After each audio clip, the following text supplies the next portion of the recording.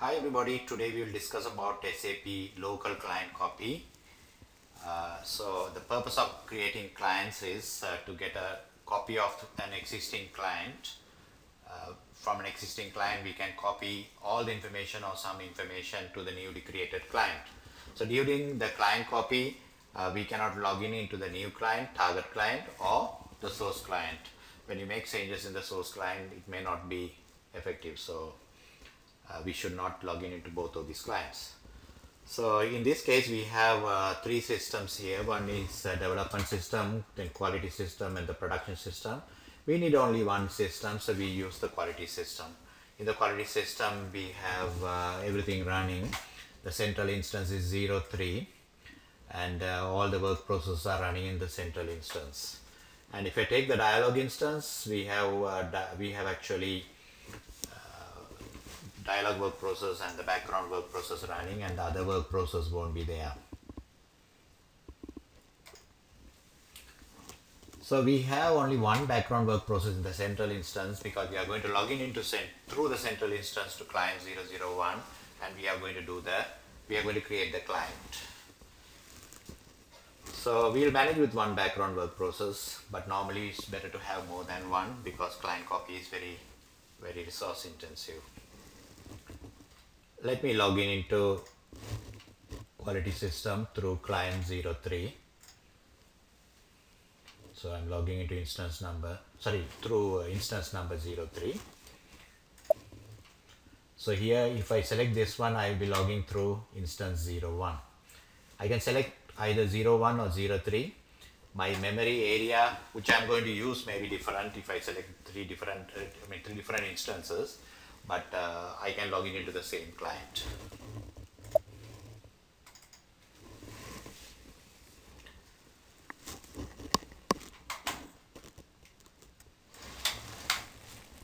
I can log into any client because the tables I'm going to modify are not client specific. They are cross client.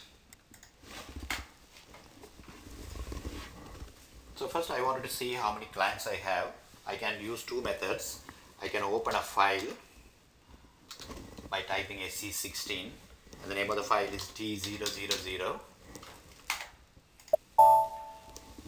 and I see I have so many clients. So second way of checking is by typing a command SCC4, these are not case sensitive, then it shows that I have so many clients but I cannot make changes in this table because it's in display mode. Change it to change mode. It gives a warning. Then I create new entries. So I'm going to create a new client called 840. Let this be training client.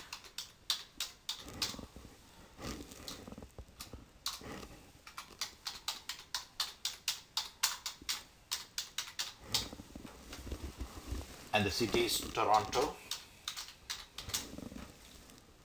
It will ask me to assign a logical system. If it is possible, I will assign now. Uh, it's better to identify, it's easier to identify a client in a system landscape uh, because the client has the SAP system name, system ID and also the client number. So it's easy to identify which SAP system this particular client is coming from. For that reason, we assign logical systems, logical names. Let me create logical system by opening another session. I type a command called bd54.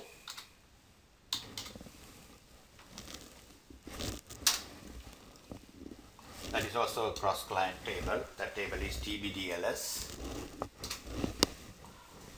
I make new entries 840 I can give a name. I just say training purpose. The logical system name is going to be the seed of the system is uh, QSY and CLNT and the new client is 830 so this is the logical system. I will copy this save it, it will create a change request. So it is saved. So now I'll go to the other screen and I give that name. So this is the logical system I just created. It updated a table called TBDLS and if I want I can go to the table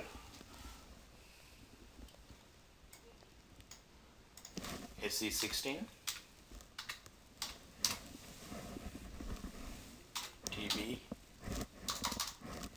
TB DLS my system will be here if I want I can search for the system let me close this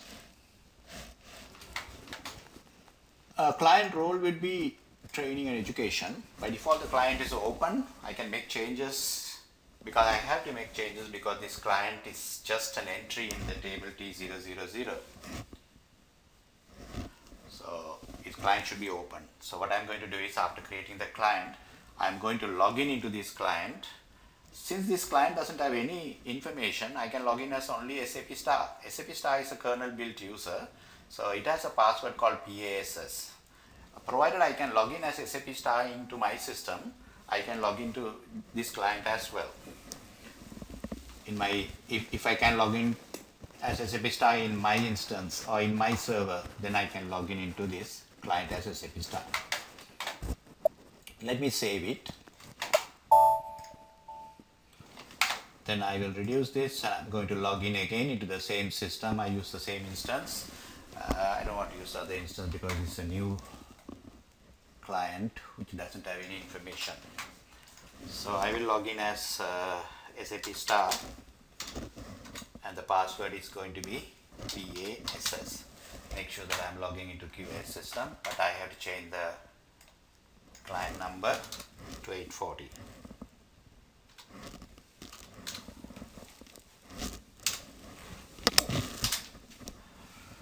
So I logged in so now I will type SCCL to see to do a local client copy.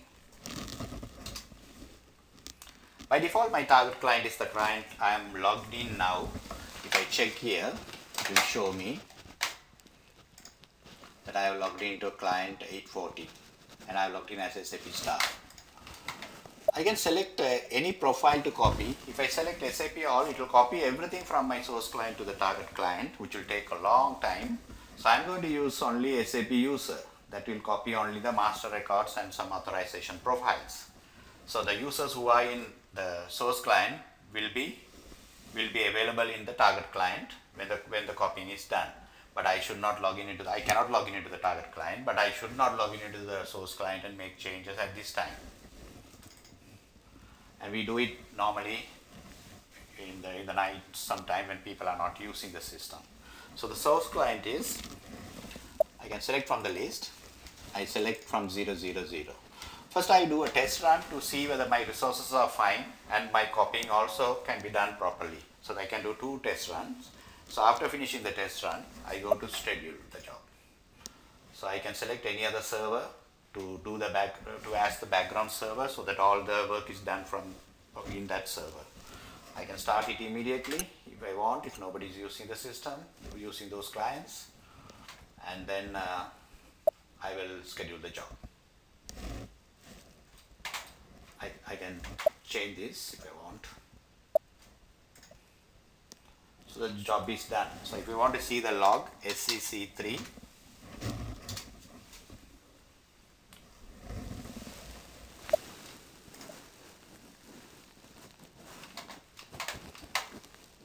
this is happening now. So the thing is done. If I am using SM50,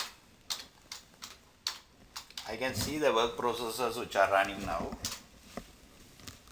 So work processes are very active. So a different table, one table called AGR flags is read sequentially. SAP star is doing this because I logged in as SAP star. Much time is used. I can refresh and see. So now insert sequential read, different table.